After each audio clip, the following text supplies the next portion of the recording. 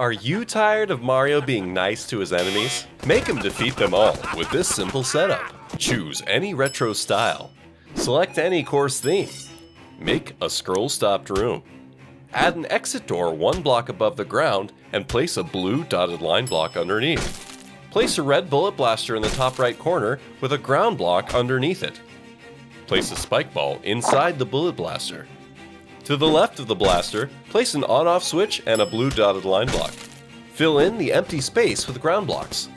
Place 97 one-way gates outside the arena. Add as many enemies as you want. Bask in glorious destruction.